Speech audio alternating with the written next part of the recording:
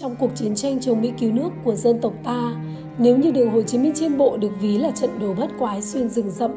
thì đường Hồ Chí Minh trên biển lại được gắn liền với hình ảnh những con tàu không số đầy bí ẩn giữa đại dương bao la. Cho đến nay, có biết bao nhiêu tài liệu đã được công bố và biết bao nhiêu cuốn sách đã được viết ra, nhưng vẫn chưa giúp được người đọc thỏa mãn một câu hỏi. Tại sao việc ngăn chặn cuộc lưu thông huyết mạch Bắc Nam bằng những phương tiện hiện đại nhất của một cường quốc quân sự lại bị thất bại bởi những con người bình thường với những phương tiện thô sơ? Sự không biết đó càng chứng tỏ rằng ngoài những điều thần kỳ của ý chí, tài năng và cách tổ chức, còn có một điều thần kỳ nữa, chính là sự bí mật.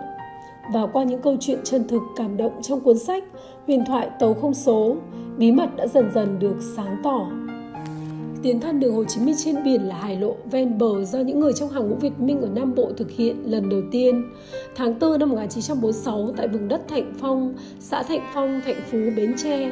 khu 8 và tỉnh ủy Bến Tre quyết định tổ chức mở tuyến đường vận chuyển vũ khí bằng đường biển. Sau này là đường Hồ Chí Minh trên biển. Chuyến mở đường lịch sử do đồng chí Đào Công Trường, tư lệnh khu 8, trưởng đoàn cùng các đồng chí Cao Văn Thỉnh, Trần Hữu Nghiệp, Nguyễn Thị Định vượt biển ra Bắc gặp Bắc Hồ và xin chi viện vũ khí cho chiến trường miền Nam. Sau 7 ngày thuyền lênh đênh trên mặt biển, các đồng chí đã vượt lên khó khăn ra đến miền Bắc hoàn thành tốt nhiệm vụ được giao. Tháng 11 năm 1946, trong một đêm đông trời tối đen do bấc thổi mạnh, nữ tướng Nguyễn Thị Định đã chỉ huy đoàn thuyền nan xuất phát từ bến Đà Diễn, Phú Yên. Lợi dụng sức gió vượt trùng khơi vận chuyển 12 tấn vũ khí vào Nam, vượt qua vùng địch tạm chiếm, đưa vũ khí cập bến Thạnh Phong, huyện Thạnh Phú, tỉnh Bến Tre an toàn. Mở ra con đường huyền thoại trên Biển Đông, đường Hồ Chí Minh trên biển. Trong suốt quá trình tồn tại, đường Hồ Chí Minh trên biển có 2.000 lần tàu thuyền vượt biển, vận chuyển gần 160.000 tấn vũ khí, cập 19 bến bãi thuộc địa bàn 9 tỉnh miền Nam, góp phần quan trọng vào thắng lợi cuối cùng của nước ta. Cuốn sách Huyền thoại tàu không số của tác giả Đình Kính được nhà xuất bản văn học ấn hành năm 2016. Sách dày 335 trang, khổ 20 cm. Từ những trang lịch sử sơ lược với những con số thống kê, từ những tài liệu hiếm hoi với hình thức tối giản theo nguyên tắc bảo mật và từ những lời kể đứt quãng của các nhân chứng ở tuổi nhớ nhớ quên quên, từ những hiện trường đang bị xóa mờ bởi thời gian tác giả đã làm sống lại một sự tích phi thường, làm nổi bật lên nghệ thuật quân sự nước ta trong cuộc chiến tranh giữ nước vĩ đại. Vỏ quýt dày đã có móng tay nhọn, cùng muôn hình vạn trạng của đường Hồ Chí Minh trên biển. Chúng ta đã bí mật vận chuyển trong công khai ngay trước sự giám sát chặt chẽ của quân thù. Điển hình là đoàn 759, lữ đoàn 125 đã sáng tạo nhiều phương thức khó mà tìm thấy được một tiền lệ nào trong lịch sử vận tải đường biển của loài người – như trong những câu chuyện về tàu hai đáy phía trên ta để cá để lưới phía dưới sát đáy để vũ khí